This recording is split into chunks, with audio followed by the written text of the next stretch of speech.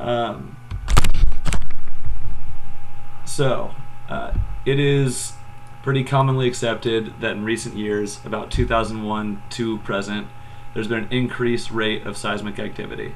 Um, this is reflected in a couple papers. One notably was a guy named Ellsworth um, who pu- published a paper in Science News Journal. Um, simultaneously, there has been a takeoff in the use of the process of, uh, called hydraulic fracturing, um, otherwise known as fracking, to extract natural gas and oil from the earth. Um, the debate is kind of focused on whether or not these two are related, um, or if the nat- or the seismic activity is the result of natural tectonics. Um, so, kind of jumping right in, my main point. My main points are that fracking does cause micro earthquakes. Um, in uh, this is a micro earthquake is a an earthquake below a magnitude of two. Um, these are kind of overlooked in most cases because they cause little damage. However, I think it's still important, and here's why. Uh, there was a paper produced by this guy, uh, Van Aja, might be a girl. I actually don't know what gender that name is for. Um, and so they addressed increased seismic activity in the Netherlands. Um, in the Netherlands, there were there are currently 125 fields. Uh, 16 of them have been pretty conclusively, well, they say are conclusively linked to earthquakes because the epicenter of the earthquake was basically pinpointed with the wells that were used for this hydraulic fracturing. Um, there have been about 350 earthquakes over the last two decades. Uh, really, they've only caused light damage and social anxiety, but the correlation between the well location and the epicenter of the earthquakes is kind of it's you can't overlook that. Um, so another thing that I'd like to point out is that uh, fracking also leads to a process called wastewater injection. It's kind of the way they get rid of the fluids that they use to flush out um, the minerals that they're extracting, so like the natural gas and oil. Um, so the wastewater injection uh, is one of two ways to get rid of this wastewater. Um, the other way is to actually send them through treatment plants, which is really costly and expensive due to the fact that there's a lot of chemicals that are used for fracking. Um, so there are, uh, according to the EPA, there's 180,000 Class 2 wells. Those are the kind of wells that uh, wastewater injection is allowed. Um, of those 180,000, about 20% are used for wastewater injection. Um, it means there are approximately 36,000 wastewater injection wells in the United States. Um, that only recently became a thing. I think uh, in the 1970s was when all this wastewater injection started happening. Um, and then, I don't know, the largest earthquake that has happened uh, is believed to have been the result. Uh, 5.6 magnitude earthquake in central Oklahoma. Um, it was believed that it uh, this wastewater injection weakened a pre-existing fault line by injecting fluid into this deep well that basically it destabilized the fault line and allowed this quake to happen. Um, so those are kind of all the things I have to say.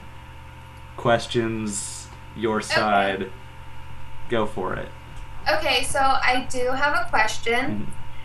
Since you're correlating um, increases in earthquakes with fracking activity, and correlation doesn't equal causation, Mhm. what do you have that makes it a causal relationship and not just a correlation? So that paper with the Netherlands guy, uh, one of the things that he looked at, he looked at uh, there were three kind of uh, factors. One of which was pressure drop. Um, pressure drop. It is in terms of physics. It's basically uh, you have removed material, creating a void, which was supporting surrounding structures around it, and so this pressure drop once it reaches certain levels, things have to happen. Um, like uh, because there's also another factor is um, so at certain ground levels there are uh, like just the weight of all the earth above it basically that's kind of the pressure. And so th- by taking away this pressure that's supporting everything above you're destabilizing every rock layer above that. And that's kind of what he looked at. He took core samples from like all the way through this area that was experiencing earthquakes and then was like all right what pressure drop is all this occurring at and he found that i think it was 70 ksi 70000 pounds um, once the pressure drop had been had reached that amount an earthquake almost always happened um, so that's kind of the key factor that he was looking at um, to link these two. Okay, and fracking is happening all over the place. Mhm. And so, where are they're seeing these earthquakes happening with fracking, is it just along fault lines in certain states, or is it everywhere that they're fracking, or is it. They are. So, kind of what happens is when they decide where they're going to frack, they look at pre existing fault lines that are already there. That's why you don't see fracking near like the San Andreas fault line, known to be incredibly active. It's usually in more. I don't know if you were. I think it was like our second module or something like that. We looked at the plate tectonics and everything. Uh, and like, there's just not a whole lot of major plates that run right through the center of the United States. Um, however, there are a bunch of minor ones. It's kind of impossible. The it's happening everywhere. There are also tech like there there are plates everywhere, Microplates. I think there's about I wrote this in my in one of my presentations. There's like 160,000 plates that move, and we only concern ourselves with the major one. Um, but to answer your question, it is happening everywhere. The earthquakes, however, have been happening predominantly in central, where plates are plates are not. Okay, So that is all my questions. okay.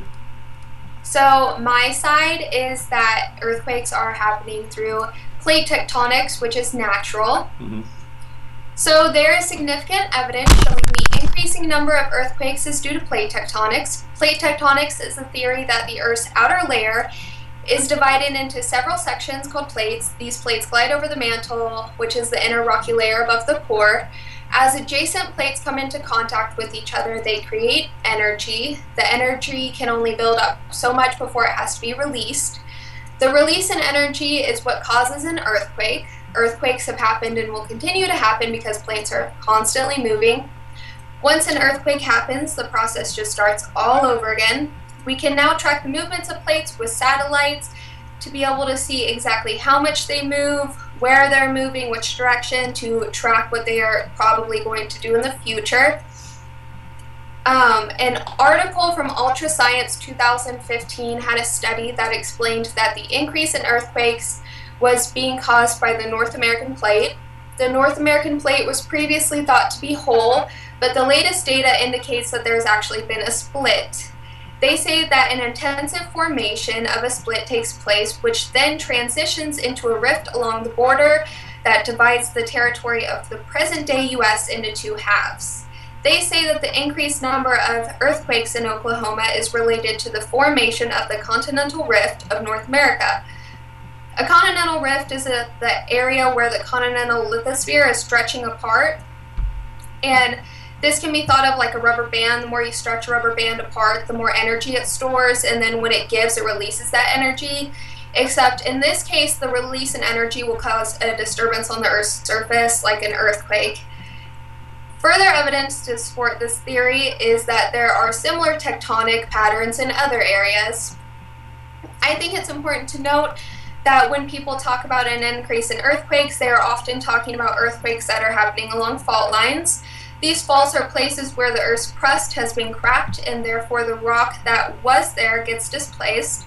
We currently don't know how many faults there are, but we do know that the energy release associated with rapid movements along active faults is the cause of most earthquakes. These faults are created by plate tectonics, which just further shows how plate tectonics is causing an increase in earthquakes. And since earthquakes are being caused naturally and we can't stop the plates from moving, I think that it's important to worry about preparing for the future earthquakes. And so, yeah. Okay. Uh, well, I had a question, and then you answered my question. Um, what evidence did did I don't know if you brought this up? What evidence was there for this separation of the two plates? Like how? What what did they do to figure that out? Do you know? I wish I could say that I did, Mhm. but I believe they. I don't know. Okay. Sorry. Because everything else sounds great. I just did not even know a major plate could uh, split right. And so, yeah. Um, well, okay. Cool. Uh, did you have a conclusion written for this? Wasn't quite sure, like, do we agree to disagree? How a debate conclusion works. Yeah, Um, I think we agree to disagree. Okay. Is what I think. I don't know. I don't really do debates, so Yeah. Well, uh, you brought up some great points. I mean, did too. I had I had never considered the fact that a major plate could split, but if that's true, that's uh, that could definitely be it. right. Um, how like one thing about this debate was that it was pretty narrow. I thought like it was oddly specific.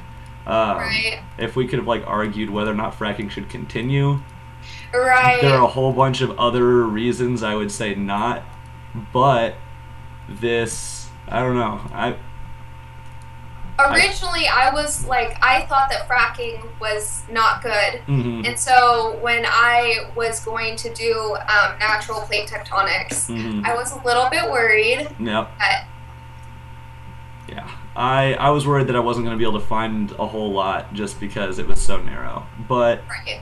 uh well, I learned something. May- Me too. It apparently you did too. Um that's great. I don't know how to end this. I'm just going to keep rambling and then I'm going to hit stop record.